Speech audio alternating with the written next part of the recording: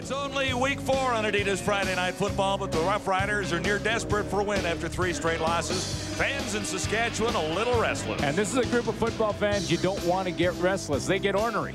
the 1990 season was not uh, especially memorable. The Riders were 3 and 15, did not win a game uh, beyond Labor Day, and were playing on uh, turf that would not even be acceptable for someone's backyard deck. And that's what uh, Roy Shivers walked into when he was introduced as the Rough Riders general manager on December 23rd, 1999. Uh, you know, a franchise that was uh, in a real tough state financially, uh, performance-wise, 3 and 15. So the Rough Riders really weren't a, a draw for anybody. And then enter Roy Shivers.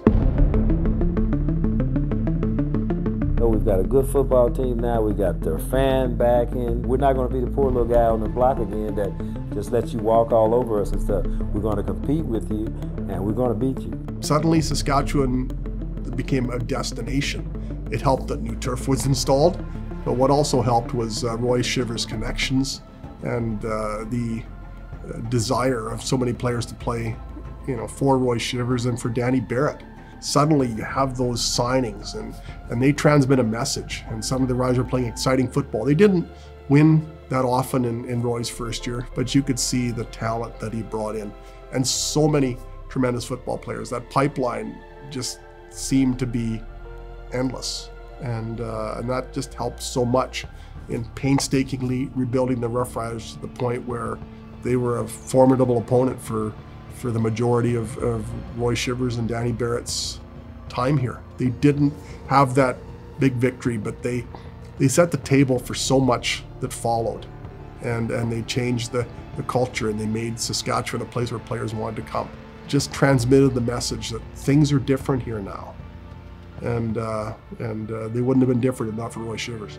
Hey Henry, you throw through lanes, throw through lanes sometime through lanes. Roy could find talent and he could find obscure talent.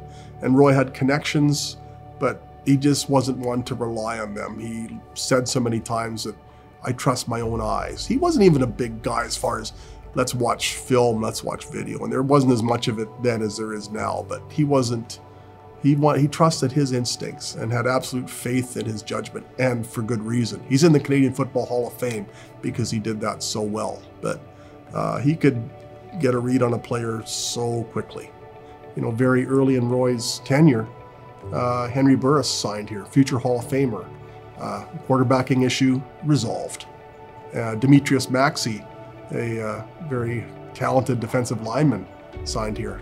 You got to remember that Kenton Keith joined the Rough Riders during the Roy Shivers years, and I have never seen a more spectacular running back wearing green and white than Kenton Keith and uh, that was a Roy Shivers uh, find. And there were just so many of them. I, I look at that 2004 team, just had so much talent. And a lot of those players remained with the Rough Riders uh, beyond the tenures of Roy Shivers and Danny Barrett and helped the Rough Riders. You look at the 2007 team that won a Grey Cup and teams beyond, and, and there's Roy Shivers' um, impact all over. They didn't win a Grey Cup when Roy was here, but they don't win a Grey Cup if Roy hadn't been here. And I think that's a really important consideration. Second and seven. Joseph has time. Looking downfield. To Miguez. Touchdown! I think you'd be hard pressed, and I don't think I'm overstating this, to think of a, uh, a trade that is any better than the one Roy Shivers made to bring not only Kerry Joseph but Darian Durant to Saskatchewan. In one trade, in a matter of minutes, two future Grey Cup winning quarterbacks. One one of them is would be named the league's most outstanding player. There, I just can't think of many trades throughout the spectrum of sports that were that changed a franchise as much as Roy Shivers acquiring Kerry Joseph and Darian Durant.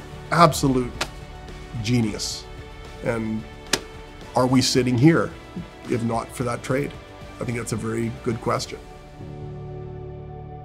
I would like to introduce our new uh, head football coach, Danny Barrett. We never get these chances. I'm in a position where I could finally do it. We've never been in a position where we could do it. What other black general managers in the NFL do you know? Well, there's so much historical significance and relevance to what happened here during the Roy Shivers, Danny Barrett years. And uh, Roy Shivers and Danny Barrett were the first black general manager, head coach combination in professional football history. And that is so huge. Now we're at the point where if there's a black head coach or a black general manager, it's very seldom mentioned, if it's mentioned at all. And that's perfect.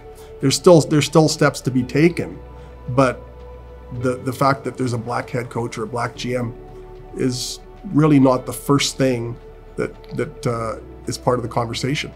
But that doesn't happen if not for uh, Roy Shivers becoming the Rough Rider general manager and then hiring Danny Barrett shortly thereafter.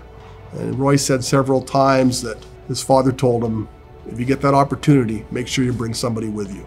And he felt that obligation, he felt that duty.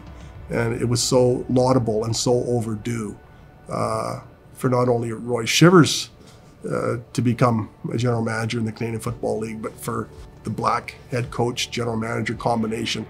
Now we're at the point where you look look around the Canadian Football League and and the Rough Riders won the Grey Cup in 2013 with Corey Chamblin, a black head coach. Things have changed a lot in Canadian football and professional football, and Roy Shivers was one of the instrumental, integral individuals as far as that process unfolding. And and that's you can't tell the story of Roy Shivers without telling the story of the degree to which he fostered progress, long overdue progress.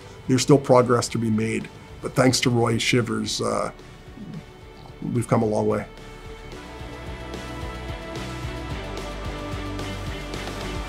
If you subtract wins and losses and you just look beyond the personnel decisions that he made, uh, you look be, you look beyond, I think, how he made the Rough Riders a relevant franchise, a factor. I think what you also have to consider is the way he dealt with people.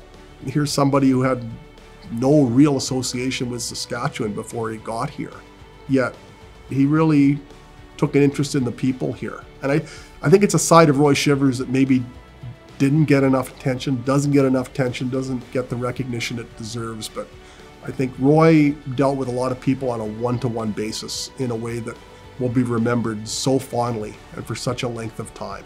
And when I think of the Roy Shivers years, I think of him holding court, court with the railbirds and asking, answering all their questions and, and having a few laughs and wondering, hey, how's your dad? Uh, that's that to me captures Roy Shivers as well. As time elapses, I think uh, you can put events into context more.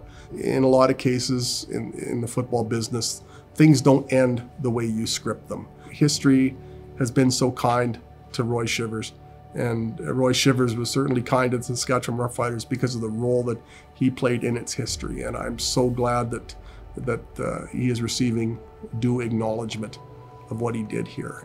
He was, was and still is a fascinating guy. He's a he's a documentary. He's a book. He's a legend.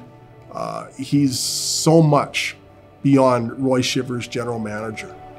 I want to be a winner, and I was I want to be a guy that tried to do what was right my legs would read, well, he, you know, I like this Frank Sinatra thing. He did it his way.